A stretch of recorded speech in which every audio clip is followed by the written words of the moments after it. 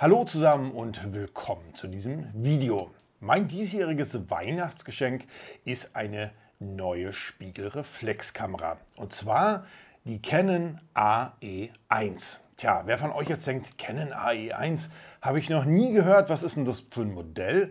Tja, dann könnte das ganz einfach daran liegen, dass diese Kamera 44 Jahre alt ist. Warum ich sie mir genau aus dem Grund aber gekauft habe, das erkläre ich euch mal im Video.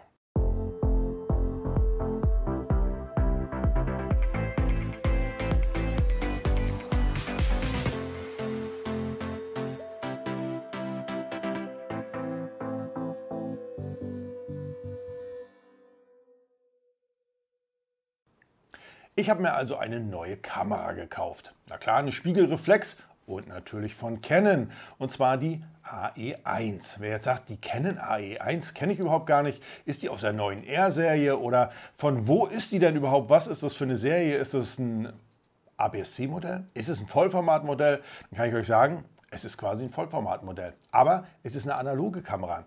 Und zwar diese Kamera ist jetzt mittlerweile 44 Jahre alt. Ich habe sie nicht so lange, ich habe sie mir jetzt tatsächlich gebraucht gekauft. Die Canon AE1 wurde gebaut von 1976 bis 1985. Damit neun Jahre lang die gleiche Modellreihe. Das hat schon was zu bedeuten. Und in den neun Jahren wurde die Kamera laut Hersteller, laut Canon, über 8 Millionen Mal verkauft. Damit dürfte es einer der meistverkauften Spiegelreflexkameras dieser Welt sein.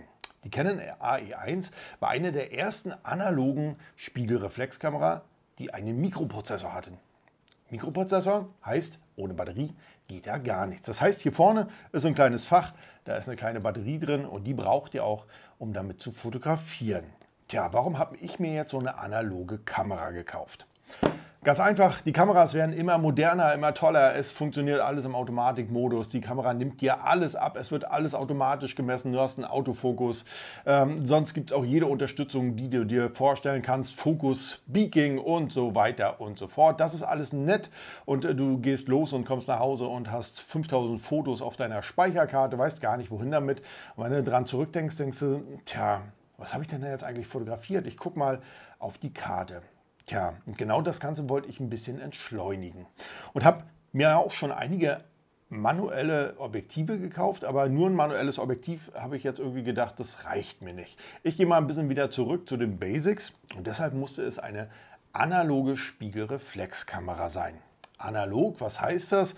Tja, analog heißt, die ist komplett analog. Für alle von euch, die es nicht mehr kennen, man kann dort keine Speicherkarte einschieben, sondern ihr braucht einen Kleinbildfilm. Das ist sowas hier.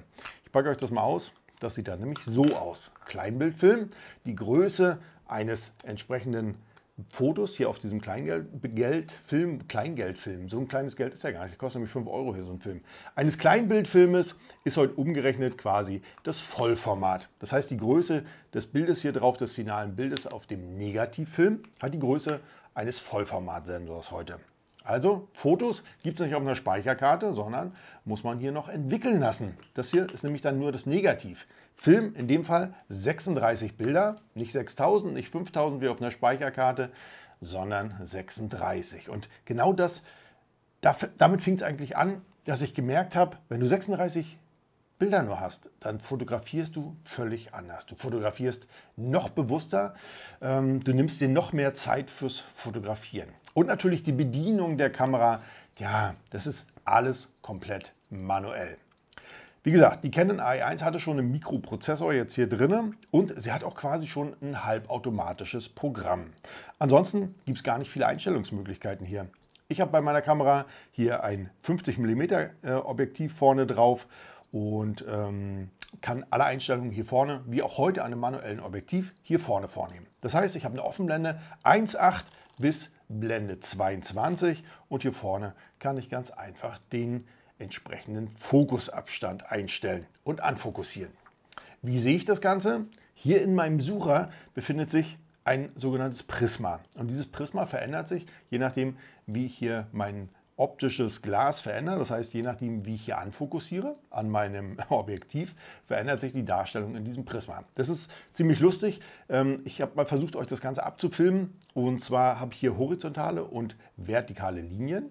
Und die vertikalen Linien die verändern sich zum Beispiel, wenn ich hier anfokussiere. Ihr seht es hier an dem Bilderrahmen, wenn ich den Fokus verändere, dann sind die Linien nicht mehr gegeneinander verschoben, sondern sie bilden eine durchgehende Linie. Und in dem Fall wäre jetzt mein Objekt scharf anfokussiert.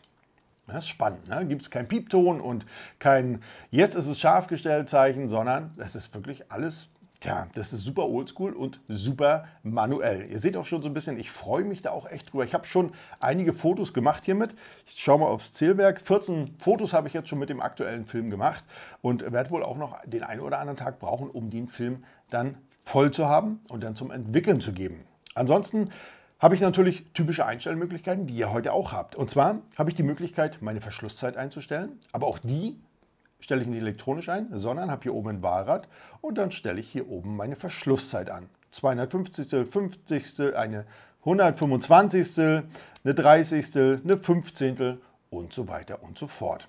Und dann habe ich die Möglichkeit hier bei dieser Kamera einen halbautomatischen Modus zu verwenden. Und zwar kann mir die Kamera hier die entsprechende Blende vorwählen. Ich kann die Blende auch alleine wählen. Dafür habe ich in der Mitte hier eine Anzeige. Auch die habe ich versucht, euch mal mit einem Makroobjektiv aufzunehmen. War gar nicht so einfach. Das heißt, wir bleiben jetzt hier mal im manuellen Modus. Ich habe jetzt hier meine Einstellungen vorgenommen. Mal eine 15. Sekunde Verschlusszeit. Ist ziemlich dunkel hier unten. Und wenn ich dann den Auslöser so halb durchdrücke, dann habe ich an der rechten Seite eine Nadel, die mir vorschlägt oder anzeigt, welche Blende ich hier wählen sollte. Das finde ich schon mal eine gute Hilfe, eine gute Orientierungshilfe. Und die kann ich dann einstellen und dann mein Foto machen. Oder ich wähle den halbautomatischen Modus. In dem Fall wäre es dann eine Blendenautomatik. So, das heißt, ich drücke hier vorne einmal rauf, aktiviere meine Blendenautomatik und dann brauche ich nur noch die gewünschte Verschlusszeit einstellen, die ich haben möchte. Und dann wählt meine Kamera von ganz alleine, oh, ist schon Zauberwerk, ähm, wählt meine Kamera hier die entsprechende Blende. Das ist eine ziemlich coole Geschichte völlig vintage das Ganze und ich habe da echt auch Spaß mit, wenn ich fotografiere. Auch so dieses Transportieren des Films, ich zeige euch das mal. Ich habe hier oben meinen Transporthebel. Das heißt, ich habe gerade ein Foto gemacht, muss dann jetzt den Film weiter transportieren. Das Ganze geht so. Und dann kann ich anfokussieren und den Auslöser drücken. Und dann ist mein Foto quasi im Kasten bzw. auf dem Negativ. Jetzt haben wir ein Foto mehr und ich bin mal gespannt, was es bei der Lichtsituation hier im Studio so von sich gibt. Ihr Lieben, Finde ich eine total geniale, geniale Sache. Ähm, ich bin da gerne mit unterwegs. Ich habe sie mittlerweile jetzt auch schon die letzten Male immer mit im Gepäck gehabt und ähm, mache damit nebenbei auch immer mal Fotos, weil ich da wirklich Spaß dran habe. Neben der normalen, äh, mit der R, mit der ich fotografiere, habe ich die jetzt mit und fotografiere tatsächlich nebenbei damit. Und es macht mir extrem viel Spaß, damit zu fotografieren mit der Kamera. Wenn ihr euch für so eine Kamera interessiert, dann, ähm, tja, am besten bei eBay mal schauen. Da gibt es wirklich sehr, sehr gute, gebrauchte. Ich habe meine auch bei eBay von einer Privatperson gekauft. Ist ja auch immer so, ein, ah, so eine Geschichte. Kaufst du das jetzt privat, kaufst du das nicht privat? Ich habe mich angewagt, ich habe um die 90 Euro bezahlt und möchte mal behaupten, dass ich echt ein Schnäppchen damit gemacht habe. Meine Kamera, die hat ähm, alle Funktionen. Es funktioniert alles tadellos, überhaupt gar kein Problem. Ich habe ein 50 mm Objektiv mit bei gehabt. Ich habe ein 28 mm Objektiv mit bei gehabt und ich habe sogar noch ein Teleobjektiv mit bei gehabt und zwar 80 bis 200 mm. Dann habe ich mit bei gehabt noch ein Griff. Ist kein Batteriegriff, sondern ist ein Transportgriff. Da kommen Doppel-A-Batterien rein, vier Stück. Dann kann ich das Ganze hier unter meine Kamera schrauben und dann entfällt quasi das, mich, ähm, das manuelle Aufziehen hier vom Film und ich kann quasi, ja, wie heute eine Serienaufnahme damit machen. Ist auch eine coole Funktion. Habe ich bis jetzt so noch nicht genutzt, weil ich habe wirklich Spaß daran, den Film noch selbst zu transportieren, selbst auf, zu, aufzudrehen und dann zu fotografieren. Macht mir mehr Spaß, aber ich werde das mit Sicherheit auch mal probieren. Und was ich genial fand an meiner Kamera, dass ich die Original, ich muss mal hier den Namen zuhalten, ähm, die Originalgarantiekarte war hier noch mit drin. Ich halte euch die mal hier zu. Direkt noch vom Händler. Meine Canon AE1 wurde gekauft am 31.10.1981. Ist also ein gutes Modell aus dem Mittelfeld. Und es ist alles mit dabei. Original-Bedienungsanleitung ist bei mir noch mit bei. Ähm, alle Bedienungsanleitungen für die einzelnen Objektive sind noch mit bei. Auch hier das Original, die sieht aus wie aus dem wie aus dem Ei gepellt. Also, also wirklich wie gerade gekauft. Ich bin da echt begeistert von. Ich meine, wer hebt seine Sachen so lange auf und dann sehen die so aus? Also Da, die Kamera war wirklich in sehr, sehr guten Händen, merkt man auch am Allgemeinzustand. Und ich denke auch, dass ich da noch Spaß dran haben werde. Und was ich auch noch genial fand, es waren Filter mit dabei. Und zwar Hoya-Filter. Habe ich so lange schon, lange, lange schon nicht mehr gesehen. Da sind noch die alten Logos auch mit drauf. Hier auch Hama und Hoya.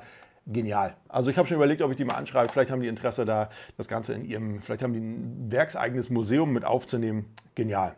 Ein UV-Filter ist mit bei. War ja damals ganz wichtig bei den analogen Objektiven. Heute ja nicht mehr. Aber es ist ein UV-Filter mit bei. Und auch hier nochmal ein Orange-Filter. Auch damals immer gern gesehen und immer gern mitgenommen. Tja, ihr Lieben, das ist sie jetzt also. Meine Kamera, meine ist ja jetzt nicht ganz 44 Jahre alt, aber sie wurde ja vor 44 Jahren das erste Mal auf den Markt gebracht. Seitdem hat sich auch an diesem Modell auch nichts geändert. Und deswegen kann man schon sagen, tja, eine Kamera, analoge Kamera, 44 Jahre alt. Ihr Lieben, wenn ihr sowas kaufen wollt, ähm, gut erhaltene Kameras gibt es um die 100 Euro solltet ihr vielleicht mal drüber nachdenken, wenn ihr alles andere schon habt. Ihr habt eine super moderne Kamera und sagt, Mensch, das ist alles toll, aber ich möchte mal wieder so die Grundlagen auch der Fotografie mich rantasten. Ich möchte mal wieder erlernen. Dann kann ich euch nur raten, Leute, holt euch eine analoge Kamera, da werdet ihr viel, viel Spaß mit haben. Und keine Angst, die Filme könnt ihr auch heute noch entwickeln lassen. Preis für einen Film, ja, ist unterschiedlich. Also für einen, ähm, na, sagt mal schnell, für, für, fürs Negativ hier, ähm, für einen Kleinbildfilm kommt man schon gar nicht mehr auf den Namen heute. Ne? Ein Kleinbildfilm kostet zwischen 6 und 8 Euro, je nachdem. Gibt es in unterschiedlichen ähm,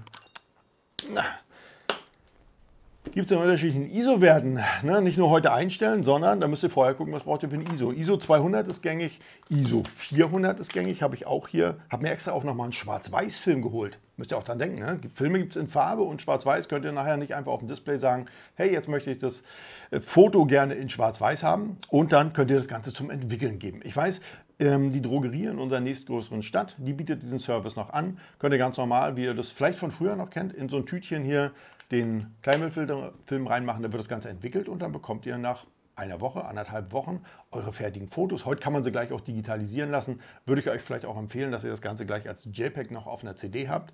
Und dann habt ihr hoffentlich schöne Fotoergebnisse. Ich bin jetzt auch gespannt. Die ersten Fotos habe ich jetzt auch schon zum Entwickeln gegeben und bin wirklich mal auf die Ergebnisse gespannt, weil es ist ja nicht heute wie in der digitalen Fotografie, dass du sagen kannst, Mensch, äh, gucke ich mir an, lösche ich, lösche ich, lösche ich, äh, muss ich vielleicht noch eine Belichtungskorrektur vornehmen, sondern ist schon ein bisschen zur Überraschung. Ne? Hast du alles richtig eingestellt und wie sieht nachher das Foto aus? Tja, ich bin gespannt auf meine ersten Fotos. Freue mich wirklich wie äh, ein kleines Kind hier über diese analoge Kamera. Und wer wirklich ähm, so ein bisschen in die analoge Fotografie einsteigen will, zum Beispiel hier, guckt euch mal an, Canon AE1. Ihr Lieben, vielleicht habt ihr auch noch eine analoge Kamera rumliegen und benutzt die vielleicht auch noch. Dann schreibt mir doch mal gerne in die Kommentare, mit welcher Kamera ihr noch fotografiert. Ansonsten, wenn euch die kleine Vorstellung, der kleine Exkurs in die analoge Fotografie der 80er Jahre hier gefallen hat, dann lasst mir fürs Video gerne einen Daumen hoch da und wenn wir uns künftig in einem meiner neuen Videos wiedersehen wollen, dann abonniert doch gerne meinen Kanal. In diesem Sinne, bis dahin.